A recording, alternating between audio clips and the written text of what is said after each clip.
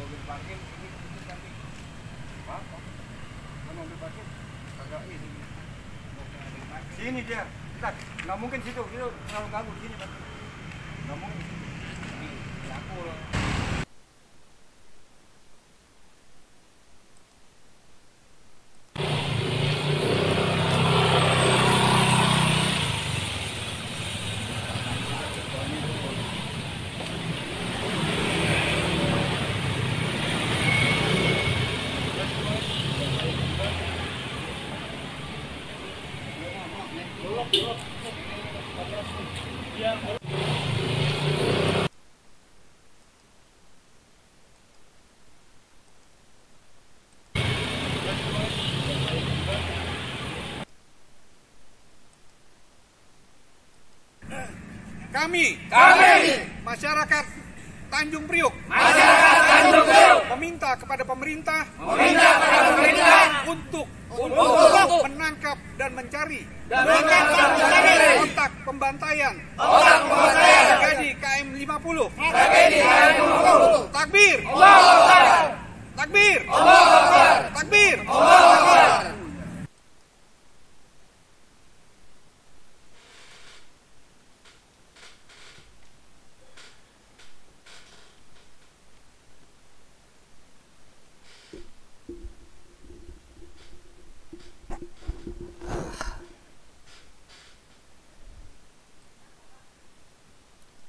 Baiklah saudaraku.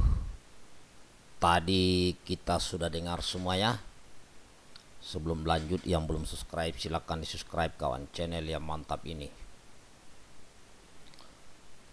Kita sudah menyaksikan sama-sama Bagaimana umat Ya Bagaimana rakyat Indonesia yang cinta kepada ulamanya. Apa pun dilakukan kawan. Inilah yang disebut kekuatan cinta. Nah kekuatan cinta ini tidak bisa diukur oleh apa pun. Kalau sudah namanya cinta korban apa pun rela dikorbankan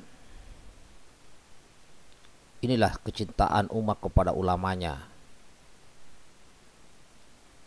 Nah, inilah fenomena besar yang terjadi pada diri Imam besar Habib Rizik Sihab. Seumur hidup saya baru kali ini melihat ada sosok manusia di masa kehidupan sekarang ini yang dipenjara tetapi umatnya pengikutnya terus menaikkan baleho karena cinta. Saya belum melihat sosok lain selain pada Habib Rizik Sihab yang mendapatkan perlakuan seperti ini. Nah maka saya semakin yakin secara pribadi bahwa Imam besar Habib Rizik Syihab adalah salah seorang di antara keturunan Rasulullah Sallallahu Alaihi Wasallam yang terus menyuarakan tentang keadilan dan kebenaran. Ya. Dan memang tidak bisa dipungkiri yang tidak suka Imam besar Habib Rizik Syihab juga ada yang tidak suka ya. Saya selalu melihat kelebihan setiap orang. Dan ini dimulai sejak 2012 eh, ya. Datang sekian juta orang berkumpul dalam satu titik. Ini suatu fenomena. Maka itu kita seharusnya sadar wahai para pemimpin, wahai para umarah, wahai para penguasa, kalau betul-betul mau bersama-sama dengan rakyat untuk menjalankan amanah konstitusi yang adil dan tegak, maka ajaklah para ulama-ulama yang selalu berkata benar itu benar, salah itu salah, karena memang itu pahit.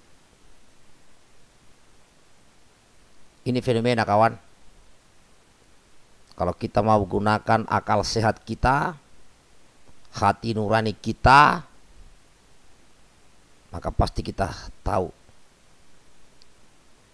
niat bersih dari perjuangan seorang ulama yaitu Habib Rizik Sihab.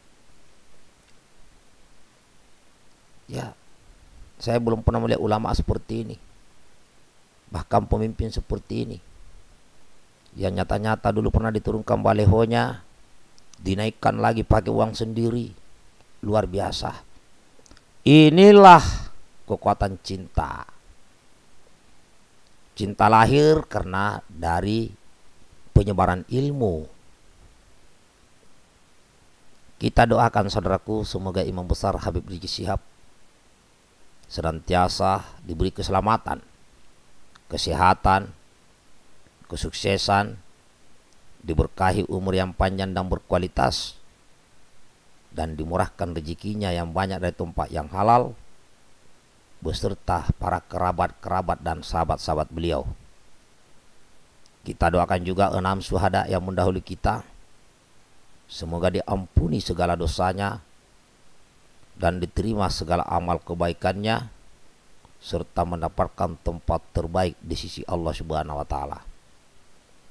Kita doakan juga para pemimpin-pemimpin kita agar mereka juga diberi keselamatan, kesehatan, diberkahi umur yang panjang.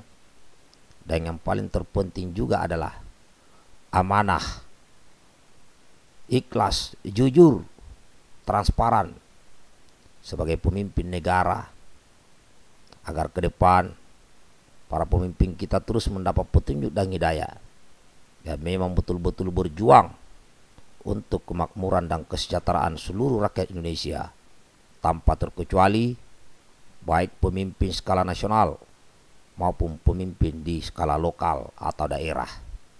Demikian kawan, bersatu kita teguh. Bercerai kita runtuh. NKRI harga mati. Merdeka.